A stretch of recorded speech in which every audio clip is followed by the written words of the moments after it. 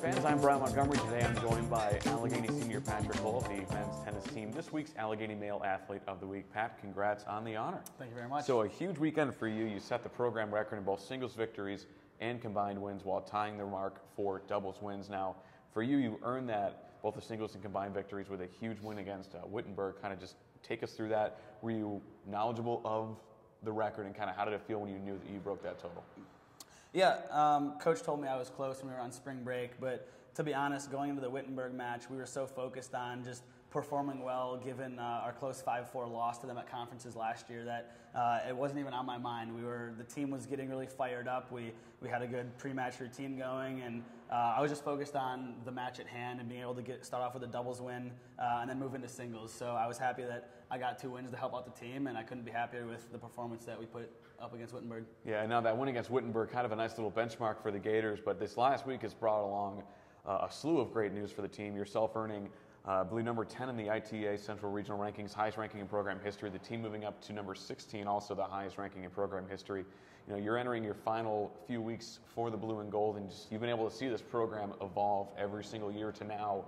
It's the best program ranking ever. Just kind of take us through that. How, how has it felt to be a part of this journey? Yeah, it's a great feeling. Uh, it's nice that we've had a core group of guys here for these last few years. We've graduated very few players these last couple years, and uh, we were all really excited going into this season. We felt like we had a really good shot this year, and it's nice to see the results we've had. We're really close to some teams we've struggled with in the past, and we finally got a big win over Carleton on spring break, which we've never beaten before. So it's just really nice, especially for the seniors, to hopefully continue this and go out on a good note. And uh, I'm excited to see uh, how the guys do the next few years with that core that we have built up. Yeah, and the team will really start to finish uh, their home stretch of the season with really just a gauntlet of matches. You have two matches on Friday, you have another one coming up on Saturday, and then senior day at the Robertson Complex next week.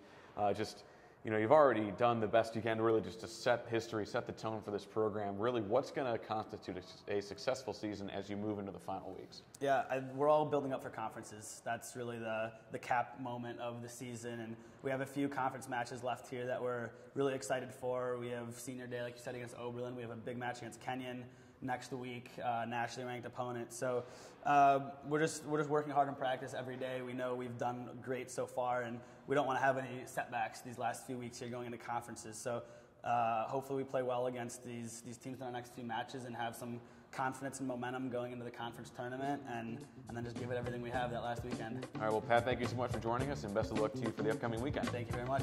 And Gator fans, be sure to keep it locked into AlleghenyGators.com for all of your up to date Gators info.